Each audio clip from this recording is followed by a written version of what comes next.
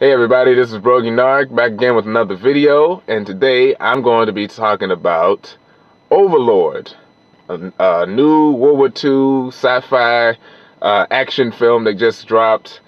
Uh, it was directed by a director I'm not familiar with, Julius Avery, and as you, if you see promotions, it was produced by J.J. Abrams. Which, when I heard that, I was a little worried because J.J. Abrams lately has been producing a lot of movies that's been kind of eh, and I was and also connected to the uh, Cloverfield franchise, and I was worried that this movie was going to be a part of that, and uh, not to be a spoiler, but thankfully it's not. Thankfully it's not. I remember one of the trailers dropped about three months ago. I had never, I knew nothing about it, and I saw people talking about it. I looked at the trailer and I was like, oh, this looks so like a Wolfenstein thing, you know, it's soldiers, they you know, in World War II, they drop down in a village. They get separated. Most of their battalion is taken out. So they happen to be in this village, and then some weird things is going on with Nazi experiments, and it creates uh, creatures or whatever. I, I, was thinking Nazi zombies, so I was like, oh, soldiers versus Nazi zombies. This could be fun. Like a movie like this could be either be really fun and crazy, or it can be like it can be fun bad or it can be boring bad. And I have to say that it's just fun. It's not bad and it's not boring. It's just a fun movie. Well, maybe not fun is the right word, but it's a it's a good movie. Like it, I was I I went into this with like low expectations, and I was surprised that this movie was as I was like, oh, this they actually tried to do not tried. They actually made a really good movie. Like I was just I, the whole time I was watching, I was just waiting for. I'm like, okay, so when is this gonna get bad? When is this gonna get stupid? And it never happened. Thankfully, it never happened. It was just a solid movie from beginning to end. Uh, there's a few problems, you know, not problems, but like you know, nitpicks here and there. But damn good movie. The cast was good. The action, the the action and the special effects were really good. Because I thought a movie like this, I don't know what the budget was, but I was I was expecting because some of the special effects in the trailer didn't look that great. But when you see the movie, they have good CGI and practical effects, and they all work. And I was afraid that it might be it would either have too much action or not enough action. Um, it has a good amount of action in it. Like, well, yeah, it has a good amount of like it. It's the times where I thought it was gonna be boring. It is if it's not anything action happening, it's intense. That there's a lot of suspense. It's very suspenseful film, and the horror elements are very good. Um, the gore is good, and it's it's gory, but it's not over the top. And the movie takes itself very seriously, which I like. I said, I was not expecting. Let's talk about the cast. You have your main character, which I didn't realize he was gonna be the main character. Um, his name is uh, Ed Boyce, played by Jovan Adepo who, if you've seen Fences, the new one with Denzel and Viola Davis, I believe he plays Denzel's son. He was really good. He like all the actors were really good in this. That was the other thing. That was, uh, for the most part, they were all good. There was one act I was kind of almost annoyed with, but he got better by the end. But he plays a Boyce, and he's a, a GI who's like he's been through basic training, and you know the movie starts with them on the plane, and they're about to drop into uh, Normandy. Basically, this movie takes place, I think, two or three days before D-Day, and these soldiers, a whole a whole uh, battalion, a whole platoon of them, different planes are flying over to drop down behind enemy lines before D-Day because they have to take out this specific tower that's. Uh, uh, that's it was a church in the in a French village that's been taken over by the Nazis and, and has a special tower where it you know allows them to relay signals to the other parts of the the the blockade. So they have to take out this specific tower for D-Day to actually work because without it, they you know it will be harder for them to do. So they're all on a plane and you get dialogue you get to know some of the different people and you find out that Boyce is he's not a good soldier he's you know he he doesn't he's not good at shooting or at least he's not great at shooting and he's he, he you know he's he's not I don't know he's not tough enough to be in war and war doesn't agree with him and he's more of a, a educated man he's not you know he's not a gruff guy. And then you have your other they introduced another character his name was uh, I can't remember his first name his name was Ford played by uh, Corporal Ford, played by Wyatt Russell, who was added to the team. He's he got kicked off of another team because he's a hard ass, but he's also an, um, a, a, demolitions expert. And he those are like the two main characters. And so basically, the plane gets shot up, and few few people survive. Um, I think like four of them survive. They meet up, and they run into another character, Chloe, played by Mathilde Ollivier. She's a French woman. They run they they run across her, and she helps. She sneaks them into the village. Uh, her and Boyce kind of have uh, they click because he can speak French. No one on the team can speak German, but he he can speak French, and they move into. She hides them in her house. It's her aunt and her eight-year-old brother. Her aunt is sick, and her eight-year-old brother is he's you know he's a little kid, and so they're hiding out. They only have like a couple of hours of yeah, they have a couple of hours before D-Day is about to happen. So the the the Ford, the corporal, he's like, all right, we got to get to the tower and we got to take out that that uh the, the we got to take out the tower. We got to get to the church, take out the tower. And Chloe tells them that the Nazis have occupied the, the town. They're killing people, but they're also doing something else. She doesn't really get deep into it, but like something else is going on with the people. And the movie is very intense it's very not I don't know if ground is the right word because it is uh, sci-fi, but it, it it takes itself seriously, which I like I said I was not expecting. I was expecting more uh, like it's sort of grindhouse, but it's not tongue in cheek. It's not cartoony. It's not winking at the camera. The the the, the, effects aren't cheap. Uh, there's not a lot of uh, jokes in it. There's some humor. Like I said, there was one character, uh, Tibbet, played by John Magaro he was he was the tough guy. Hey, you know, I'm from the Bronx or I'm from New York or whatever. And he's like, oh, look at Boyce. He's he doesn't know how to hold a gun. Look at this guy. He's gonna get his head blown off. He was that type of annoying guy. And I was like, either he's gonna die soon or he's just gonna be annoying throughout the whole movie. But he was actually good. Like as the movie kept going, he didn't talk as much, and when he did talk, it was it was fun. Like he had, he had a good back and forth with the kid, and at first I thought it was gonna be annoying, but no, it was actually good. It's a very standard film, but it's still good. Like there's a couple like surprises, like story surprises, not really, but like surprises in terms of the action.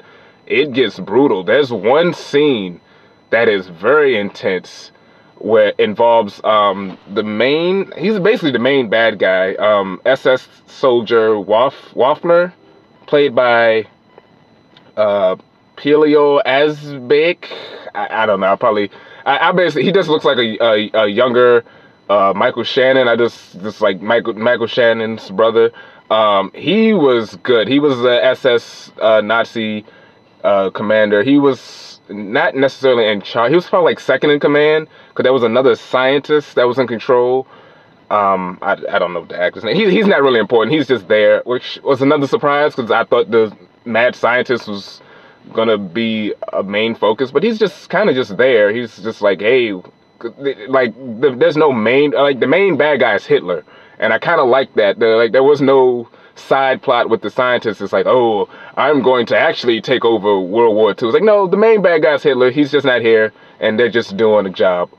It's evil, but you know, I, I kind of like how grounded it was. Um, another thing that was really good, which is sort of a pet peeve, especially with uh, war movies. Uh, when you have German characters, they speak German, and they only speak, and when they speak English, it actually works. Like it's not just a bunch of actors speaking English with a German accent, or even like say Wonder Woman, where it was World War One, but every German was speaking English for some reason. Like no, in this movie, if they're German, they're speaking German. If they're French, they're speaking French, unless the character knows English or French. And there's not a lot of subtitles.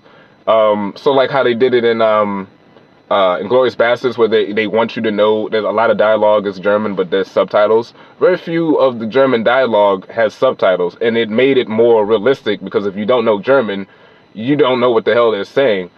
And it, you know, it made it made the suspense more because you'll hear someone talking German and you're like, what are they saying? Or and you you don't know how they're going to react. And there's a lot of intense mo moments throughout the film, a lot of gore.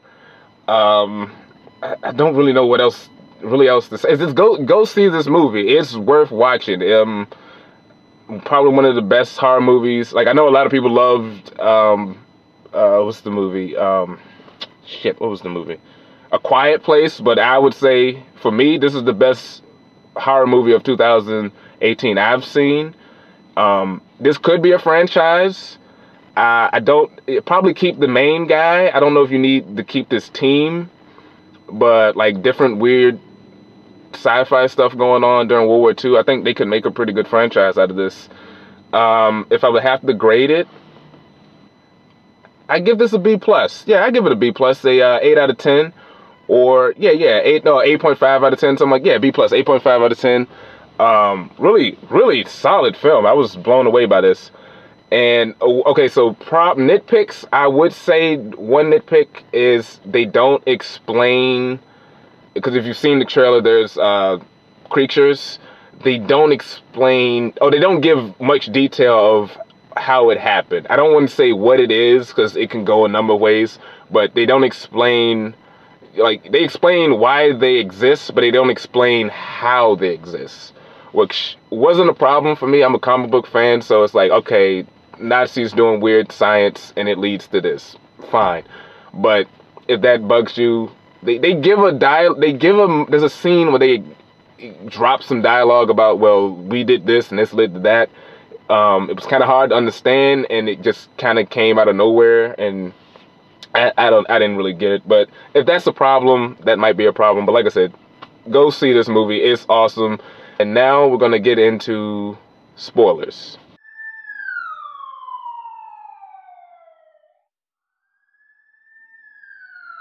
All right, so uh, some quick spoilers. Not gonna talk about everything. So the cameo it was Bokeem Woodbine. You might know from uh, Jason's Lyric, and um, played the Shocker in Spider-Man: Homecoming and some others. He just pops up. He's he was just he was their commanding officer. He was on the plane and he was doing the usual. All right, we're gonna get ready. We're going on this mission. We're gonna fight these Nazis and blah blah blah. And you know, listen to what I say. They all jump out of the plane. Um, Boyce survives, and then he sees uh, Bokeem Woodbine surrounded by some Nazis. He wanted to help him, but then Ford comes in and tells him to be quiet, and they shoot him, and that was all. That was like the first seven minutes of the movie. That's that's all. He was just there, and I was like, oh, okay. He was just there. Um, so yeah, the yeah, it was very intense. There's the scene. There was that moment where they uh, hung up. They well, not hung up. They inter after the uh, Nazi guy Waff was it Wafner? yeah, Wafner was gonna it was gonna rape Chloe, and they stop. Uh, Boyce stops him, and then they capture him. Um, Boyce, you know, Boyce goes out to go look for the other guys, and he ends up in the in the in the um in the facility. That was like that was one of those intense moments because it's like he's a black man in a Nazi facility it's not like he could knock a soldier out, steal his costume, and, and walk around and pretend to be German. Like, no, you're still black. And he doesn't have no fucking Mission Impossible mask to cover his face. So I was just like, dude, get the hell out of there. And of course, you know, he finds the uh, the other guy, the uh, the Jewish guy, uh, Rosenfeld. And I was afraid that Rosenfeld wasn't going to make it, but nope, he survives. Um, but that that was one of those intense moments where he's just sneaking around the facility. I'm like, how the hell is he gonna get out of this? And he's got this sick guy with him. Um, Ford was badass. Like, yeah, Ford was he was hella badass when he was beating the shit out of the Nazi guy. It was kind of weird for a second because I was like, are they trying to get sympathy for this the, they're torturing this Nazi guy because he did just try to rape that girl, but they, they weren't. I, I, was a little worried. I'm like, wait, are they do they want us to have sympathy for this guy? Because you know, fuck that guy. In the cast stickers in this film, you might recognize as uh, Simmons, no Fitz, uh, Leo Fitz, I believe is his name on Agents of Shield. And the scene, he's a, he plays a photographer, and he's kind of he's he's annoying to them. He was he was fine, but there's a moment where he uh, has after they've interrogated the Nazi guy, they're going to use him to sneak into or to get into the tower. He goes to wake him up, and the guy was playing like he was asleep, but he's he's he's sneak he's he he had a bag over his head. He he takes him down, pulls the gun off him, shoots him like three times, and then he's just blindly shooting. They stop him, and they like try to recover him. Now, when Boyce snuck in, he had one of the serums, and he sticks it in in his friend, and he just wakes back up, and then that's when they start. That's when the sci-fi stuff really kicks in, and you know his his he heals himself. He's got super strength, but then his like starting to deform and like this weird stuff with his neck where he like leans back and snaps his own neck and then like pets it back together. It made me think a little bit of like the thing from uh, John Carpenter's The Thing. I was just like, oh, wh where is this going? And then he's super strong, and they shoot him some more. He falls down, he gets back up, and then of course Boyce just bashes his head in. That was crazy. The, uh, the girl Chloe, she was bad. Chloe was badass. I have to say, she was awesome because that was she was very dedicated to saving her brother, and she was not with she was with the shits. Like she was not afraid to get involved, and I really appreciate it. She wasn't like over the top macho or anything. She was just very determined, and she was very focused on getting her brother back, but also stopping these Nazis because they, you know, that moment where they kidnapped, where the guy uh, used her brother as uh, a shield and she like he's gone away and they're like well we got to go get him and she just immediately picks up a gun and picks up some um some uh some grenades and she's some pipe bombs and she was just ready to go. And so because then there was that little argument which was a bit odd, not too odd, but where Ford and Boyce are like, Boyce is like, we got to go get the brother, and Ford's like, but our mission is to take down the tower, and they're yelling, and I'm like, you guys a little loud. You know the Nazis are around, but they were all at the base. But anyway, it was it was a good it was a good moment. Um, oh, when she, when she, uh, the guy, when she, the two guys, when she shot one of them and tried to get the other one to take her to her brother, and he leads her to that weird, that weird, uh, deformed soldier. Like he had like he had like his face was sort of twisted and he was like shaking and he was trying to he ate the one guy and he was trying to kill her. And there was a moment where she runs out and she's like running through all these doors. I was just like, just shut the door, like just lock the door. But she doesn't. And it was cool because she got that fucking flamethrower and just roasted his ass. That sheep, man, that was it was awesome. It was a good movie, man. Um, and yeah, and yeah, because like I said, it wasn't fun. Like it was intense, but it was that moment when um, after the Nazi guy he gotten shot up and he got shot in the face. He took a shot to the face. The moment where he's in the facility and he like shoots up with the two uh, serums and gives him super strength and all that, and then he like looks at the camera and he smiles with the busted face. I was that was the moment when I was like, oh, this is about to get fun, and it did. It got it got really like it was like really action packed. Um, his fight with Ford was cool, especially when Ford when he was beating shit out of Ford as payback for beating him up earlier, and he was like, I don't got any rope, but I got this, and he stuck him on the hook like he was a big hunk of meat, like right in the chest. I was like, God, I was like, damn, like that is, woo, that was crazy. And I think that was also the moment when he started, he was talking something about the tar. He said something, the village had a special tar and they didn't refine it, but we did somehow the tar led to super soldier. I think that's what he said because he had, you know, he's German, speaking English, but his face is also dis- destroyed, so his voice is disordered. So I, I think he said something about tar and refining it, and that led to super soldiers. Okay, sure. Because I because you don't know where it's going. It was either gonna. I was like, it's either going to be some sort of weird science. It could be a mystical thing. It could be alien technology, and it's just tar. And I'm like, Oh, okay, I'm, I'm fine with that. Unless there was an end credit scene where they explained it. I don't know. That was like the main thing. Every like I said, and you know, it was a good ending. I like that. I was surprised that everybody survived, or at least I was surprised that Boyce wasn't the only soldier who survived. Because I, you know, I, I, thought the other two were going to be gone when they did the thing with the. Uh, took the soldier and he had the grenade in his mouth and had all the explosives in the motorcycle that was that was a good scene. Like they it like explode, it blows up the other truck with the ordnance and kills everyone. Then everyone rushes out and they're like gunning them down.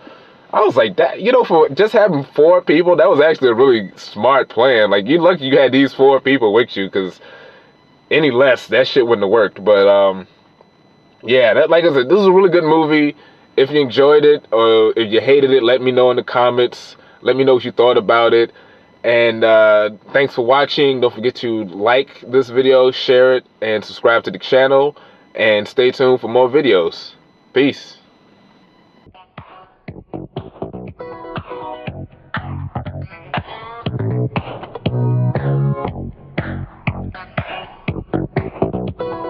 Finish this thought. I am a slave to... The booty.